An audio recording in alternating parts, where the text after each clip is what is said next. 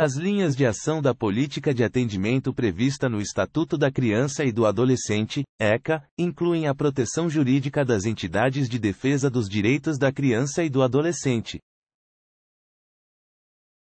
Analisando a questão, você responde: verdadeiro ou falso?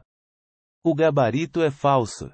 Artigo 87 são linhas de ação da política de atendimento, inciso 5 proteção jurídico-social por entidades de defesa dos direitos da criança e do adolescente.